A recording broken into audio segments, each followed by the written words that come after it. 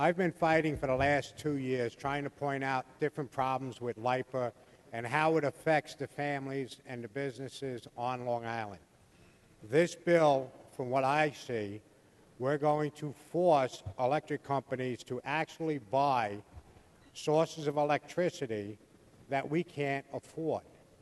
We have, right now, what we're doing is we're exporting, what we're exporting out of New York State are our children, our grandparents, our businesses, our neighbors, and our friends.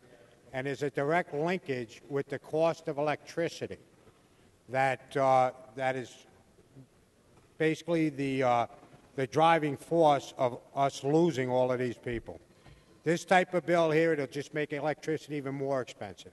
Therefore, I'll be voting in the negative.